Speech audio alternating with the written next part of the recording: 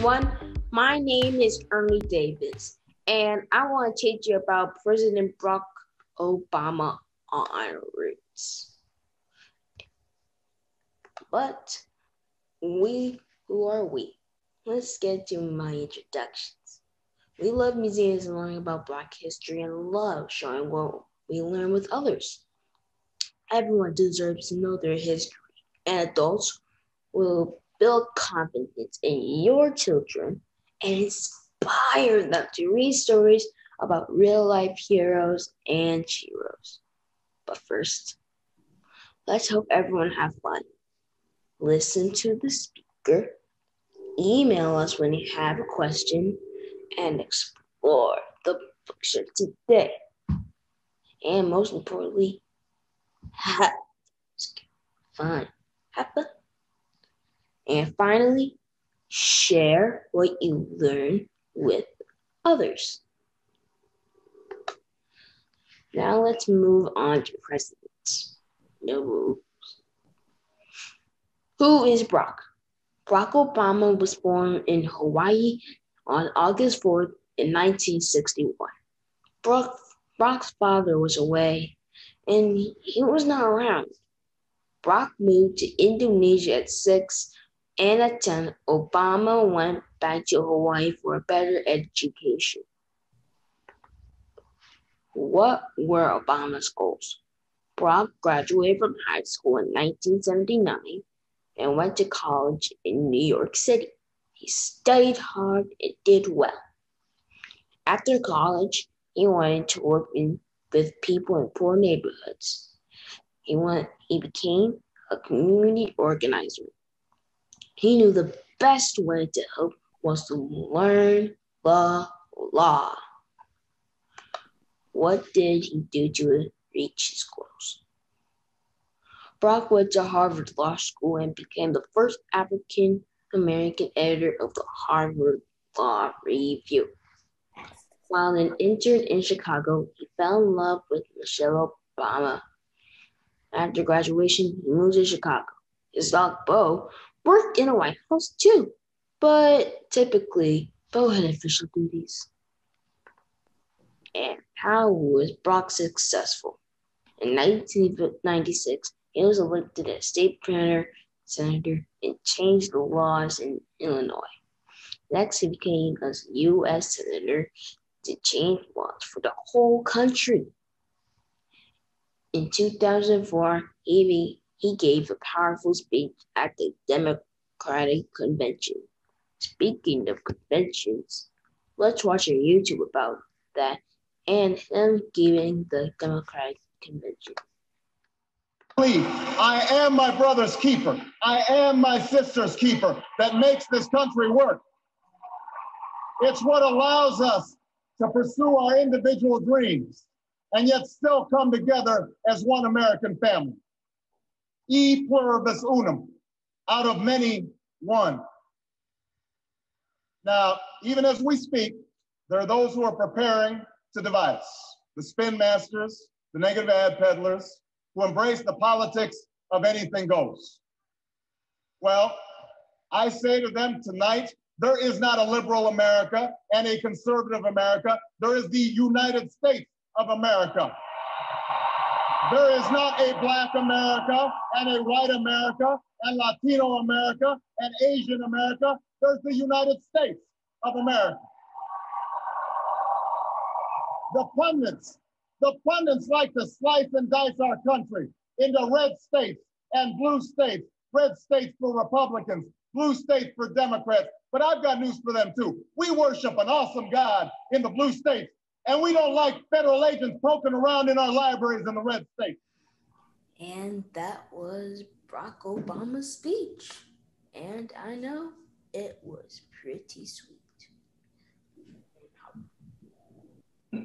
Lastly, to sum it up, in 2008, Barack Obama became our 44th president and first African American.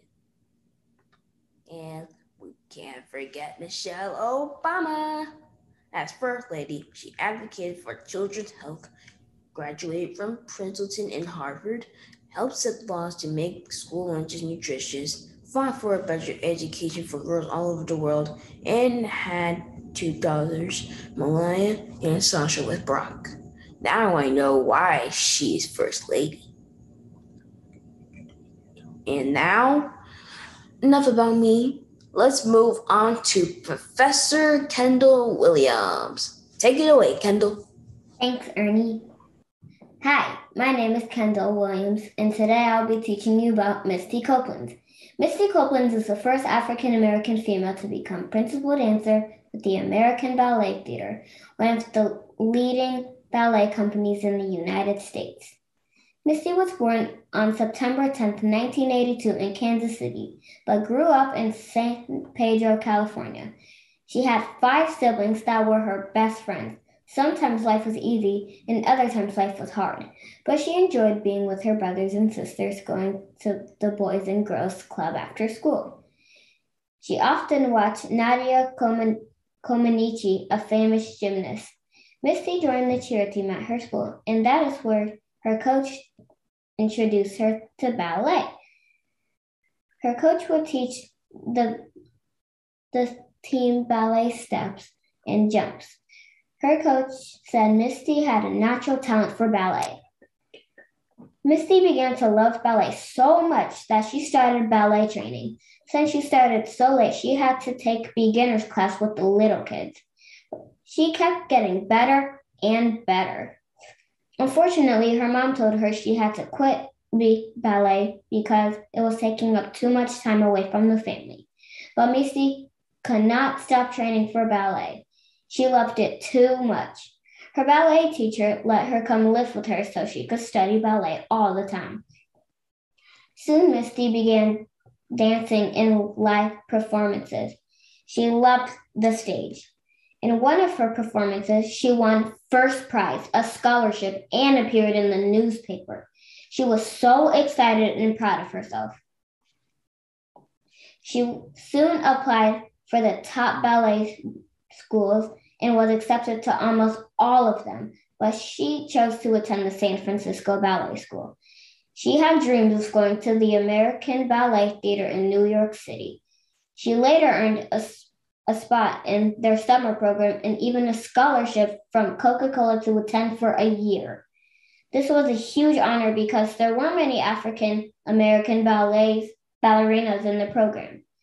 After the ABT summer program, she did so well that she earned a spot with the studio company. She even got to take a trip to dance in China. She loved seeing the world and exploring new cultures. Misty danced with ABT for six years and became a soloist. The first black soloist AB, at ABT in over 20 years. This was a special accomplishment for Misty since white dancers dominated the ballet world. Misty performed in her favorite show, The Firebird. The role was a very big part with two solos. The show got a lot of attention because it was the because it was one of the first times an African American ballerina danced in such a huge role. She practiced so hard that she injured that she injured her shin, but that but she didn't let that stop her. And this is one of her favorite performances. In the spring of 2015, she danced in the lead role in Swan Lake on the Met stage. Because of uh, her performance, she was promoted to principal dancer. She had worked so hard for so long and finally achieved her goal of becoming the first ever African American female dance principal dancer with ABT. Being being a principal dancer means everyone knows her name and she gets to dance the very best parts in each ballet. It is an honor and her dream come true. Now, Misty Copeland lives in New York City, but she travels home to California to see her family as much as she can. When she's not dancing, she's exploring the city, visiting museums, and eating at seafood restaurants. She wants to continue to dance and lead roles in all of the famous classical ballets. Misty thinks it is so important for dancers of all backgrounds to see a Black woman in those roles. She will continue introducing ballet to people who look like her.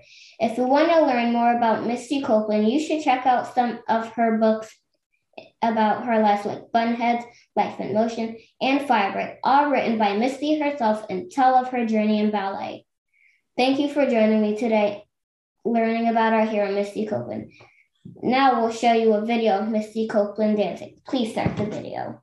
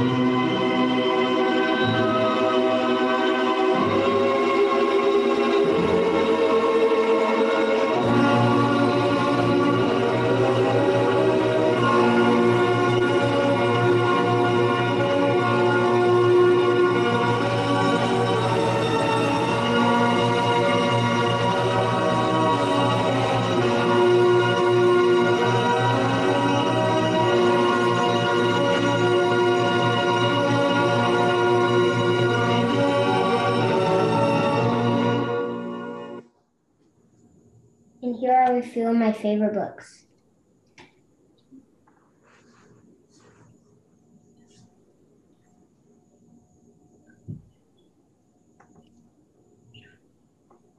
And then here is my first favorite, Bunheads. It's a picture of Misty. And then